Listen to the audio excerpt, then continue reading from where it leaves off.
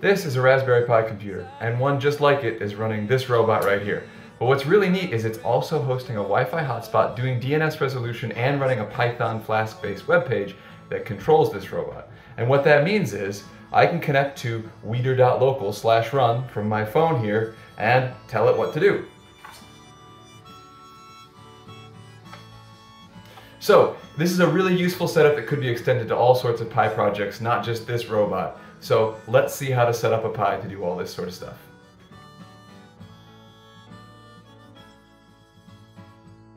This is a Raspberry Pi Zero 2W, and it's what we'll be using in this project. Um, it's, if you're unfamiliar, it's just a tiny computer. It's really inexpensive.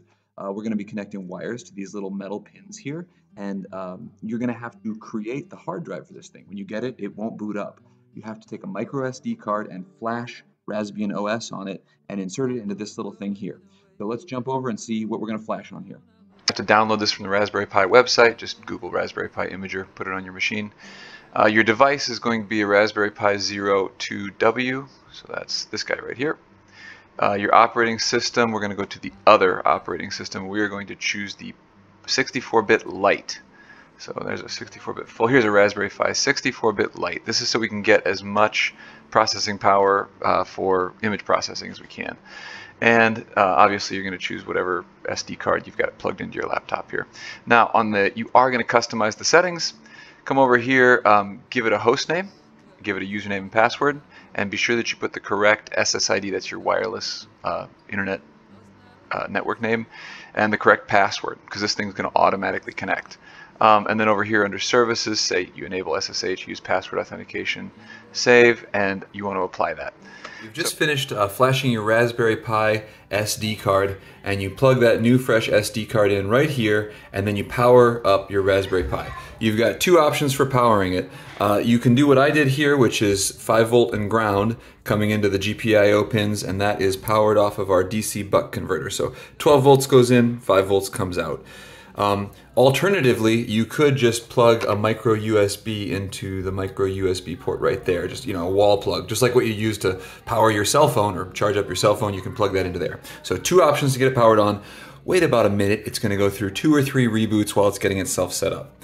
Um, now, when you want to access the thing, you again have two options. The first one is what you see here. This is a, a cable, Uh, a, a mini HDMI cable, and you, if you have, if you want to go, you know, keyboard, video, mouse, you're going to have to have some sort of hub like this. This is a, a micro USB. It'll plug into the other port you know, right there, and you can put your keyboard and mouse on that. And then when you plug it in, you're going to get a screen that looks about like this. This is, um, you know, the login screen. Put in your username and password, and you have local access to this thing. It's just like any other computer.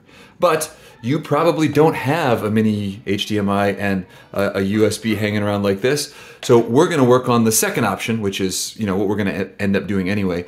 We're going to connect to this thing over Wi-Fi. So you don't need any of that extra stuff. You don't need to plug anything else into your Raspberry Pi.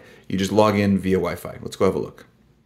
When you flashed your Raspberry Pi, you actually gave it a, your SSID for your Wi-Fi and your password. So the first thing it does is it logs onto your pass to your Wi-Fi, um, and that means that your Wi-Fi router gives it a 192.168.0. something IP address.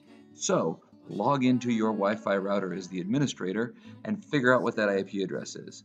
Then you can connect to it over your Wi-Fi with that IP address. First things first, how are you going to connect to this thing? Uh, SSH is a program, uh, secure shell. If you don't, if you if you're running Windows, you're going to have to download PuTTY, and I'll show you on Windows here what it looks like. If you are running Mac or Linux, you've already got SSH installed. So pull up a command line, and you're going to use a command like this: SSH, whatever username you've got the IP address. So that's the first thing. Get a program that you can use to connect to this. It'll be PuTTY or SSH. So let me show you what that looks like here. Um, I'm going to pull up a new uh, PuTTY. And for me, I looked it up and uh, my address is 162, 192.168.0.115. So you just plop that in right here. It's going to connect over port 22. You say open, and sure enough, it opens one of these panels where you can log in with your username and password. Now you've got your uh, fresh install of Raspberry Pi uh, operating system on an SD card. You've plugged it in. You've got the IP address, uh, or you've you know plugged your keyboard, video, mouse in. In other words, you're connected to the Raspberry Pi. You can issue commands to it, just like this. Um, so if we look around here, uh, we're just sitting in our home directory. There's nothing in there. So um, all of the setup to get our robot running has, has been automated. And that is automated on this page over here. Um, so if we look, this is the Nathan Builds DIY GitHub repository, uh, and it's a project called Weeder. And I'm looking at the README file. It's the, the um, how to get things set up.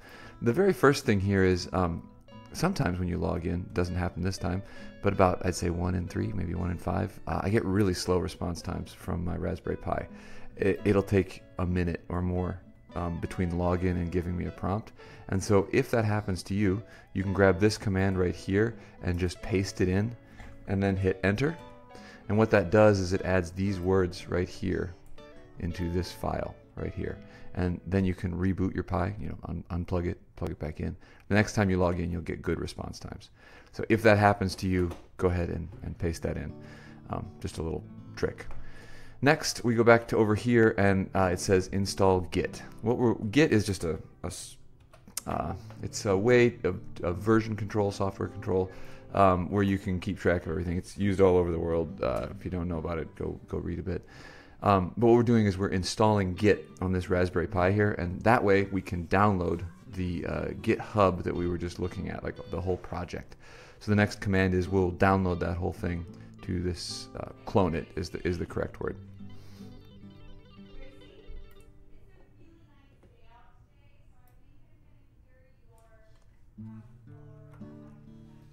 Okay, so Git has been installed, and the next step in this README here is say it says clone this Git repository to your Raspberry Pi. So if we drop that over here, oh, still installing, I guess.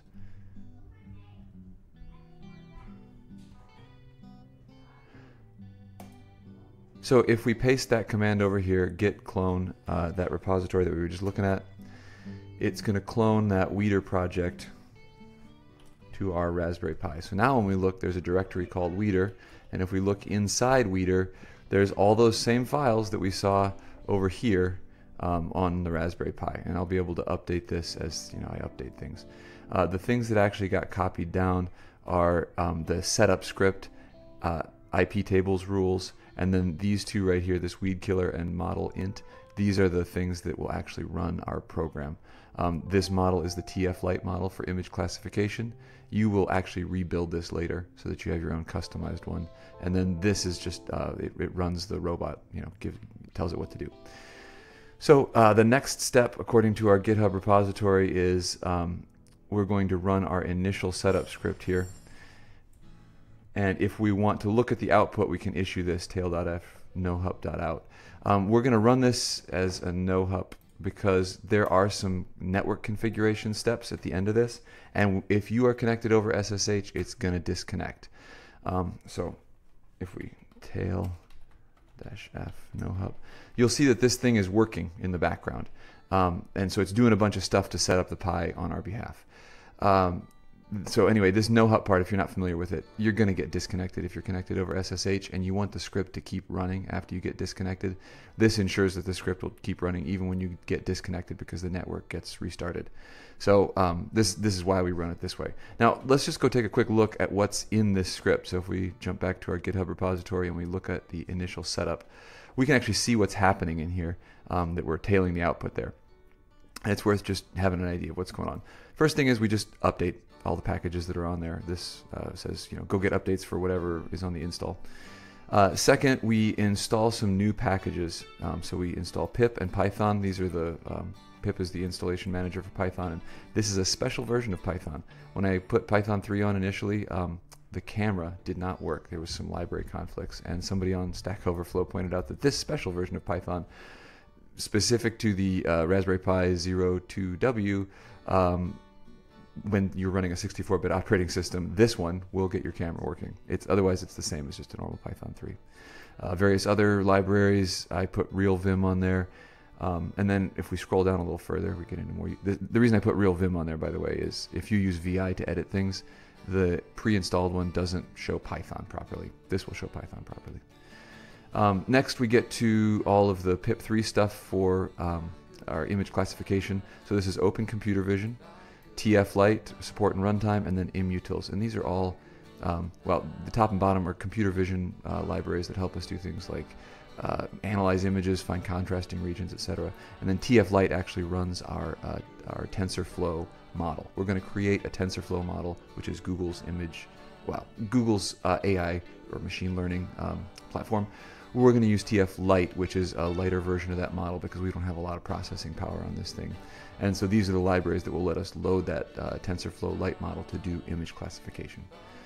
A little bit further down here, we install pigpio and we get it running on a daemon. So every time it starts, pigpio is running. This allows much finer control of our servo motors. It does a better job of creating the uh, pulse width modulated wave that controls those servo motors. Servo motors. Next, um, we install dnsmasq and dnsutils. We're going to put this thing into hotspot mode. After we're all done with these updates, we're going to turn off. It's no longer going to be connected to our Wi-Fi, and it is no longer going to be connected to the internet. Instead, it's going to be its own hotspot, and we will connect to the Raspberry Pi hotspot with our laptop or phone or whatever. And we want to be able to go to a, a, a website. So we're going to go to weeder.local, and we want that to resolve, DNS to resolve that properly so that it actually points at our Raspberry Pi running the app that we've got. So what this does is it lets us actually set up DNS on this thing. Um, and once we're connected, it's going to say anything that ends in .local. So weeder.local is the URL we'll connect to.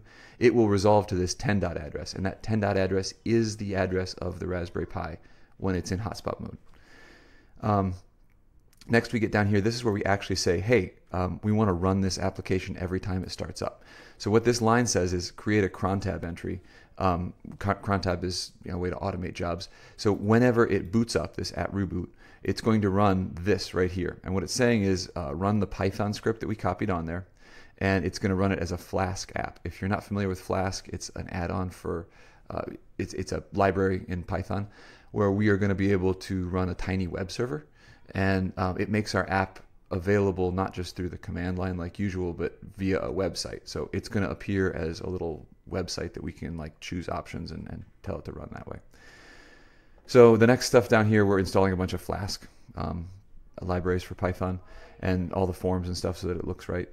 Uh, down here, this sets up some IP tables. Our Flask app actually runs on port 5000, so we're going to redirect port 80 and 443 to port 5000.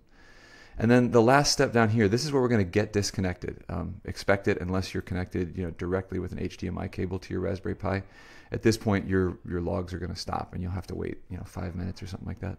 What it does is it restarts our network manager and then it tells it be a network hotspot. And the network's name is going to be Weeder. So when you look at your Wi Fi lists in your house, uh, you're going to see one called Weeder as soon as this thing finishes booting. And the password to get into it is Let's Weed with a capital L, capital W. And um, this part down here just says every time you reboot, make that your priority. Make it the highest priority Wi Fi network that you've got. So always be a hotspot from here on out. That means that our Raspberry Pi is essentially disconnected from the internet. We can still connect to it. Obviously, it's a hotspot, so we can SSH to it or we can access it over um, the, you know, a, a web browser. But it's not going to be connected to the internet unless we you know, get in and change it. And then the last thing is uh, restart it. So at the end of all of this, you're going to have a fully set up Raspberry Pi that runs the app that you want every time it starts up. It um, and it will be running as a hotspot, so you can connect to it with your web browser or via SSH and PuTTY, just like you used to, as long as you're connected to that Wi-Fi name called Weeder. So let's give it a couple minutes, and we'll check back in as soon as this setup is done. It's uh, if we check back over here, it's still in the middle of doing all this setup. You need to go over to your Wi-Fi. Um, and in ch- check that you you know log into um, whoops PuTTY fail log into the Wi-Fi called Weeder um, and use the password Let's Weed with a capital L capital W.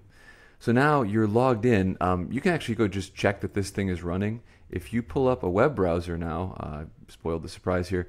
Uh, here it is. We're going to um, resubmit here. So if we go to weeder.local slash run, this is going to pull up a page for us. Um, we can see that this is our Flask application presented to us via a web browser. So, uh, sorry, our Python application running via Flask on a web browser. So, um, like I said, what we actually did is our Python script that runs this thing is now running through a web browser. So you've got a bunch of options for what kind of test you want to do, what kind of weeds you want to kill, and then uh, how far you want it to travel. So um, this shows you that, that it's actually running. Uh, this this weeder.local is being resolved via the DNS running on the Raspberry Pi, and it resolves it to the IP address of the Raspberry Pi. And at the um, path slash run, it's where our Python application is is showing up. Um, so now just take a quick look through these. Uh, this is a normal run. It'll actually try to go kill whatever weeds you've checked down here, and it'll run however far you tell it to go and turn around the number of times that you tell it to turn around. Um, so that's like a full run. This one here is when you want to build your own uh, uh, TF Lite model. You're going to choose this one, and it'll run as far as you tell it to, and just take photos. And then you'll have to hand classify those photos into um, you know what sort of plant it's looking at, and then retrain the model so that it'll run on what's in your garden. More on that in a in a later video. Uh, this one just tests that it can take photos, takes three photos, pops them out there on the Raspberry Pi. And then all of these on down are what we're going to do next. These actually just check that you have your pins connected to the Raspberry Pi properly. So if, if we say test lid motor and then I hit submit, uh, in the background here you may be able to hear the, the lid just opened and shut on uh, the, the actual uh, the actual robot. So from from here on down is what we're going to work with next to make sure that our motors work. So we'll get to that in just a second. Before we jump ahead, I just want to show you the other parts of um, you know that you can access here. So you can also get rid of the word run, and this is going to show us a, a directory of logs. So every time we hit submit, it's going to create a directory out here, and it's going to save whatever output um, it needs to in that in that folder. Now that one did nothing um, because it was it was a simple test. So the other thing that's worth looking at here is um, we can now reconnect to our Weeder um, just like we did before. So we're going to pull up PuTTY or SSH if that's what you have instead. And if I load this, what you're going to see is we're actually now going to connect to a host name, weeder.local on port 22. And of course, our DNS resolution comes from the Raspberry Pi, so it will resolve it to itself. And so if I open that, um, yeah, it's it's a new one, so